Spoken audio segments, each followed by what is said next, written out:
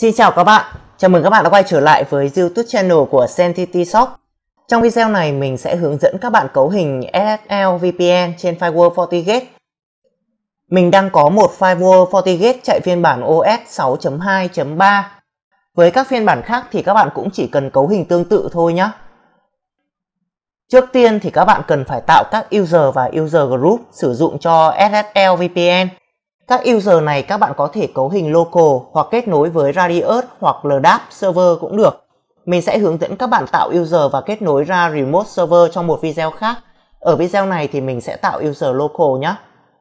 Để tạo user, các bạn truy cập vào menu User and Device, chọn User Definition, chọn Create New để tạo, Type chọn ờ, Local, nhập username và password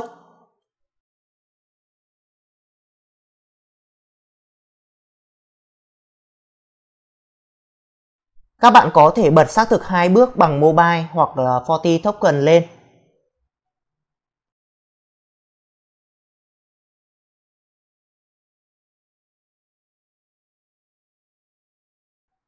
Mình sẽ tạo thêm một tài khoản nữa cho VPN.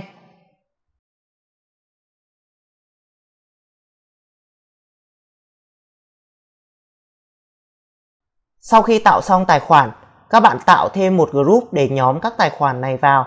Khi add vào policy thì chúng ta add group vào là được. Hoặc nếu chính sách VPN khác nhau giữa các phòng ban thì các bạn có thể tạo nhiều group, mỗi group cho một phòng ban khác nhau. Mình sẽ tạo một group là VPN user. Add hai tài khoản vừa tạo vào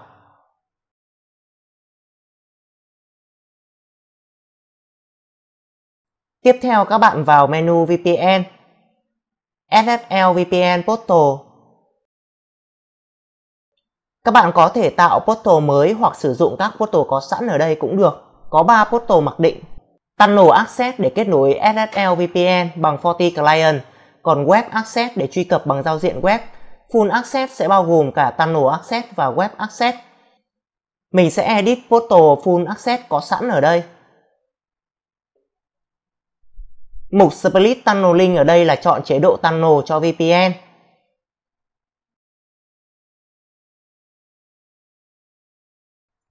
Nếu các bạn disable split tunneling thì sẽ tương đương với full tunneling là mô hình phía bên phải.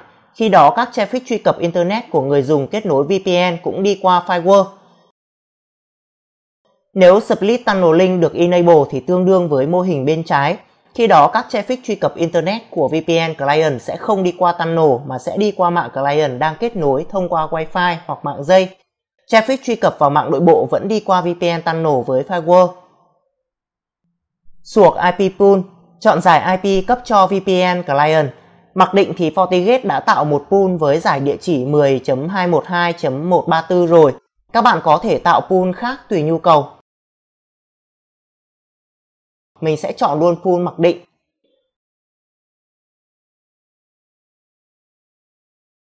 Nếu các bạn sử dụng IPv6 thì có thể bật IPv6 tunnel lên. Phía dưới này sẽ có một vài tùy chọn chúng ta có thể bật lên cho client như lưu mật khẩu, tự động kết nối. Các bạn bật lên tùy nhu cầu thôi.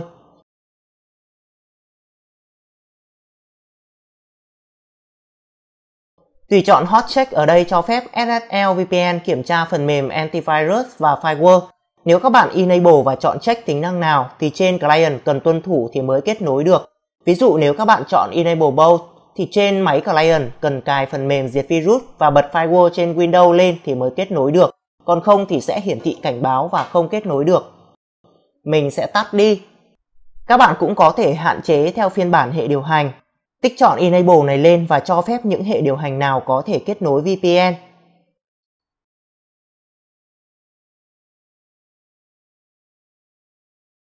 Tiếp theo là phần tùy chọn cho SSL Web Mode. Phần Portal Message và Theme là tên và giao diện hiển thị trên máy client. Các bạn tùy chỉnh theo nhu cầu của mình. Phần Predefined Bookmark này để tạo các bookmark truy cập nhanh trên máy client. Khi client đăng nhập vào thì sẽ hiển thị sẵn trên web portal. Các bạn có thể tạo các bookmark để kết nối đến các dịch vụ nội bộ trong mạng LAN của mình. Ở đây có rất nhiều loại dịch vụ như FTP, SSH, Telnet. RDP là Remote Desktop, HTTP, HTTPS, vân vân. Mình sẽ tạo một bookmark HTTPS để truy cập vào file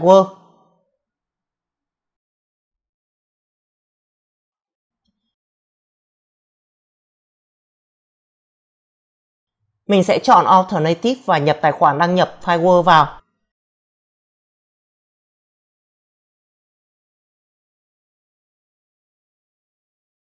Cuối cùng là cấu hình cách client có thể download Forti Client về để sử dụng.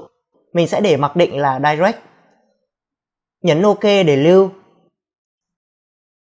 Sau đó các bạn vào menu SSL VPN Setting. Listen on Interface. Chọn cổng WAN kết nối ra Internet. Listen on port. Đổi sang một port khác bất kỳ do cổng mặc định 443 đang được sử dụng cho HTTPS để quản trị firewall. Ở đây mình dùng port 10443. Khi truy cập bằng web mode, chúng ta sẽ truy cập bằng IP1 10443. Do người dùng VPN ở nhiều vị trí khác nhau, do vậy phần ờ, Restrict Access các bạn nên chọn ờ, Allow Access from many hosts. Nếu các bạn muốn giới hạn chỉ một số client có địa chỉ IP public xác định mới kết nối được thì chọn Limit Access và tạo các giải IP public tương ứng add vào.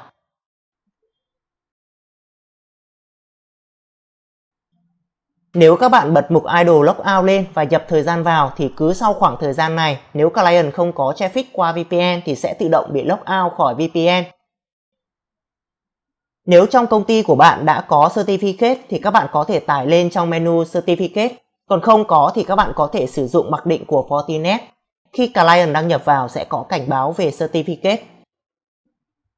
Mình sử dụng Certificate mặc định nên mình sẽ disable mục này đi address chọn ờ, automatically assign address để client nhận IP trong giải IP mà chúng ta tạo trong phần SSL VPN Portal. DNS server thì cũng là tùy chọn thôi, các bạn có thể chỉ định DNS cho VPN client.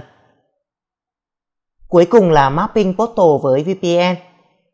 Các bạn có thể chọn các nhóm user và map nhóm user này với portal mà chúng ta tạo ở trên. Mình đang để tất cả các user đều được map vào full access portal mà mình đã cấu hình. Nếu các bạn có nhiều nhóm user khác nhau và muốn mỗi nhóm user có một portal khác nhau thì các bạn có thể tạo thêm ở đây. Sau đó ép nhóm user vào portal tương ứng là được.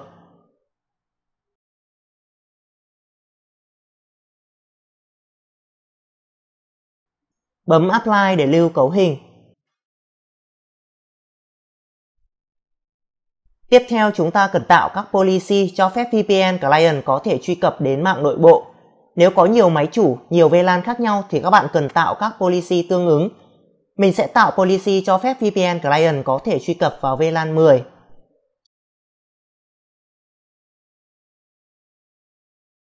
Khi các bạn chọn à, Incoming Interface là SSL VPN sẽ có cảnh báo do đang sử dụng Certificate mặc định.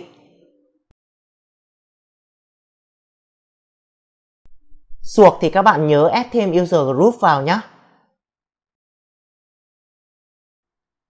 Desk thì các bạn có thể tạo các IP hoặc giải IP cụ thể cho các tài nguyên muốn client có thể truy cập vào. Mình sẽ để giải IP của VLAN 10. Khi đó client sẽ chỉ truy cập được vào các tài nguyên trong VLAN 10 của mình thôi.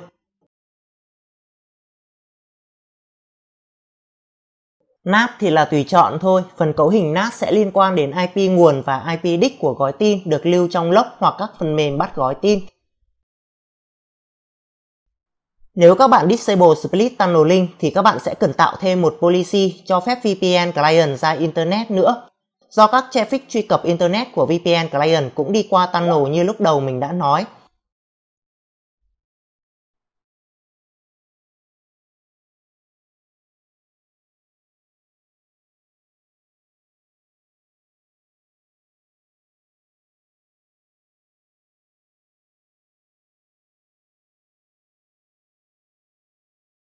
Ok, như vậy là phần cấu hình đã xong.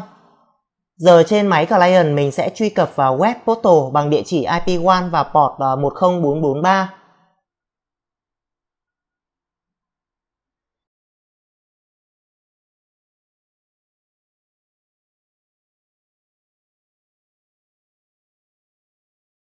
Đăng nhập với tài khoản VPN được cấp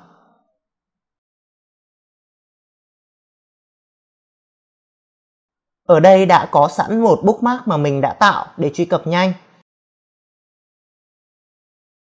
Client cũng có thể tự tạo các bookmark như chúng ta đã làm trên Firewall. Để kết nối đến dịch vụ khác, các bạn chọn Quick Connection và chọn loại dịch vụ tương ứng là được. Trên web portal có hầu hết các dịch vụ mà chúng ta có thể sử dụng.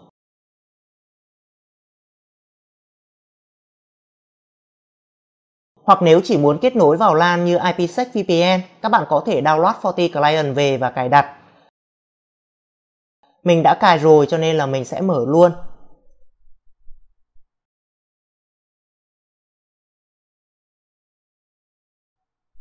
Chọn ờ, Configure VPN. Chọn SSL VPN. Mục tên và mô tả thì các bạn nhập theo nhu cầu. Remote Gateway nhập IP1.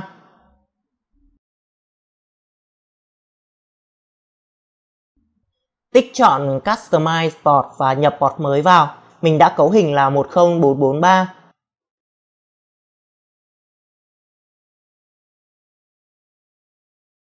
Mình sẽ lưu thông tin đăng nhập cho tiện.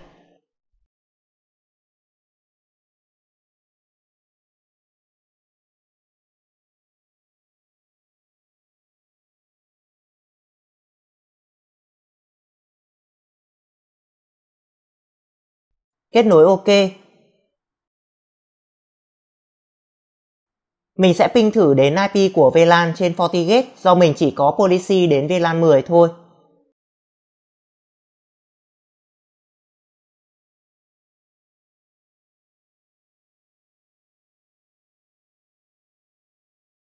Ping OK. Ok, như vậy là mình đã hướng dẫn các bạn cấu hình SSL VPN trên Firewall FortiGate để kết nối đến hệ thống mạng nội bộ. Nếu các bạn gặp khó khăn gì có thể comment bên dưới video để mọi người cùng nhau khắc phục nhé. Và đừng quên like, share cũng như là subscribe để ủng hộ mình nhé. Cảm ơn các bạn rất nhiều.